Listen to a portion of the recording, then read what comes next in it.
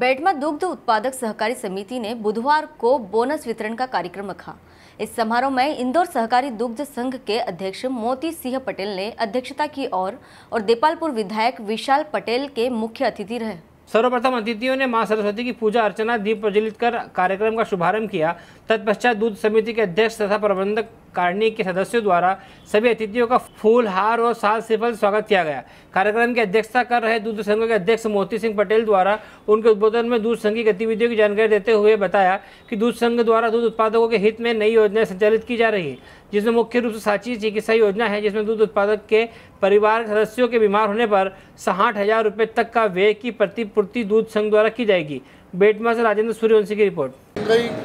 तो किसी भी पूरी सरकार कहीं ना कहीं महँगाई के आगे नतमस्तक ना कोई सूद ले रही है कि जनता किस तरह से जी रही है। इतनी त्रासदी तो शायद ही कभी देखने को मिली थी। सो सैकड़ा पार कर चुका है आपका पेट्रोल और डीजल। और जिस प्रकार से जो रोष आम जनता में अंदर देखने को मिल रहा है, यही सबसे बड़ा कारण है कि सरकार पूरी बैकफुट पे है। सरकार आते हुए नगरीय निकाय चुनाव और पंचायत के चुनाव कराने के लिए तैयार नहीं है। क्योंकि कहीं ना कहीं देखने को मिल रहा है कि जो आक्रोश आम जनता के अंदर है, निश्चित तौर पर कहीं देते थे कहीं ना कहीं उनको खुद को व्यक्तिगत तौर पर जो लाभ मिलता है। आज बहुत खुशी की बात है। काफ़ी लोग अपने आप में खुश थे कि लंबे समय से करीब दो ढाई साल से जो बोनस पेंडिंग था, आज वो मिला है। कहीं ना कहीं खुशी की बात भी है। एक अच्छा माहौल देखने को यहाँ मिला है और मैं बहुत बहुत बधाई देता हूँ उन सभी को जिनको बोनस मिला है और पूरी दूध समिति को। कार्यक्रम के बारे में बताएँ आज का जो हमारा बेटमा सहकारी दुग्ध उत्पादक समिति है, उन्होंने सदस्यों को बोनस वितरण का कार्यक्रम रखा था। इसमें लगभग साढ़े आठ लाख रुपए का बोनस, जिसमें से पौने तीन लाख रुपए इंदौर दुग्ध संघ की राशि और शेष राशि बेटमा दुग्ध समिति की है। इस प्रकार से साढ़े आठ लाख रुपए का बोनस हमने हमारे जो दूध देने वाले सदस्य, उनको बोनस के रूप में आज वापस करा।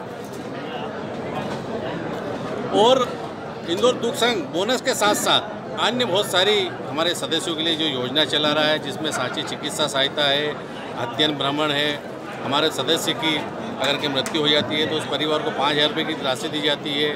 और जो काम हमारे यहाँ इस संस्था में का, जो कर्मचारी काम करने वाले हैं उनकी मृत्यु हो जाती है तो तीन लाख रुपए उनको भी दिए जाते हैं। इसी सब बात को ध्यान में रखकर इंदौर दुख संघ ने जो उपभोक्ता भी हमारे किसान हैं और उत्पादक भी किसान हैं तो हमारे दुख संघ ने एक और निर्णय करा है कि क्यों ना हम ज़्यादा से ज़्यादा मात्रा में और अच्छे से अच्छे हमारे डेयरी के उत्पाद बनाए जिसमें विशेषकर मांगलिक कार्यक्रम में मावा लगता है तो हमारे यहाँ बर्फ़ी का गुलाब जामुन का मावा अलग बनता है।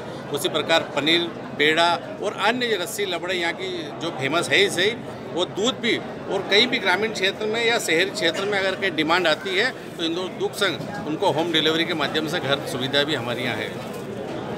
यहाँ हेलो फ्रेंड्स आप देख रहे हैं हमारा channel S W twenty four news हमारे सारे वीडियो सबसे पहले देखने के लिए आप हमारे चैनल को सब्सक्राइब करें और पास में लगे बेल आइकन को दबाना बिल्कुल भी ना भूलें।